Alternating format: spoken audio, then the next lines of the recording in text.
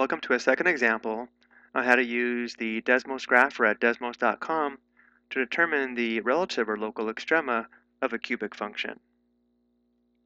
The function f of x equals 2x cubed minus 36x squared plus 192x plus 8 has one local minimum and one local maximum.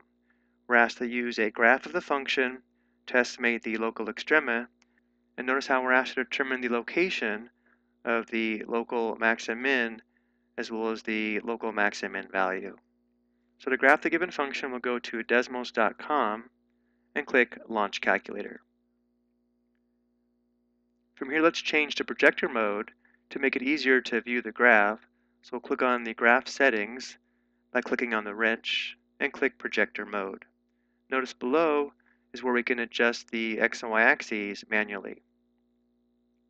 Let's exit the settings by clicking on the wrench or just clicking on the coordinate plane. And now we're going to go to the far left to box number 1 and enter the function. So we'll enter y equals, and then for 2x cubed, we'll enter 2x, and then shift 6 puts the cursor in the exponent position, and now we enter 3. To exit the exponent, we press the right arrow, and then minus 36x squared, to enter x squared, we press X, Shift 6, 2, right arrow, and then we have plus 192x plus 8. The function is now graphed on the given window, but it's obvious we need to adjust the window. We can do this two ways. We can click on the graph settings and adjust the axes manually, or we can use the plus and minus sign here to zoom in or zoom out.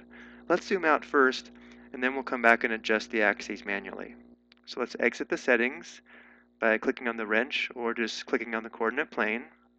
And let's click minus to zoom out. So zoom out, zoom out, zoom out, and we'll continue zooming out. And notice now we can see it looks like right in this region here the graph is churning, and therefore we should be able to determine the local maximum and local minimum if we zoom in on this region. To do this, we will now adjust the axes manually. So let's change the x minimum to let's say negative 20 and the x maximum to let's say 40. Again, these are just approximations. Let's change the y minimum to let's say 200 and the y maximum to 400. So we'll click on the wrench and we'll click on the y minimum here, change this to negative 20. When we do this, notice how the graph automatically adjusts. And now we'll change the x maximum to 40. Now if we didn't like this interval, we could change it, and again it would automatically show. Let's go ahead and change the x min to let's say negative 5, and the x max to let's say 15. So it's nice that we can actually see the graph while we adjust the window at the same time. Notice now, looking at the graph, we can see a high point and a low point, but let's adjust the scaling on the y-axis to get a better view. Let's change the y minimum to 200 and the y maximum to 400. So we'll change the y min to 200, the y max to 400. And notice now we have a very nice view of the graph to determine the local maximum and local minimum. If we wanted to, we can continue adjusting the window for example, we could change the y min to, let's say, 225, and the y maximum to, let's say, 350. Let's go ahead and use this window. So we'll exit the settings. And now the great thing about Desmos is if we go back and click on the equation, the nice thing about Desmos is now the high point and low point are graphed in gray, and as long as we've clicked on the equation of the function, if we now scroll over those points, it's going to give us the coordinates of those points. So if we scroll down to this low point, notice how the coordinates are 8 comma 264, which means we have a local minimum at x equals 8, and the local minimum value is the y value or function value of 264.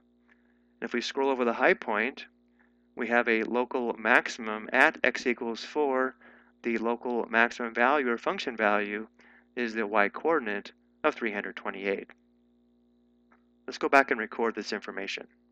Again, we now know the function has a local minimum at x equals 8, and the local minimum value or output value is 264. The function has a local max at x equals 4, and the local maximum value is 328.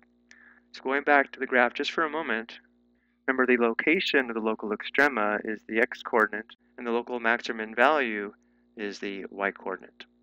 I hope you found this helpful.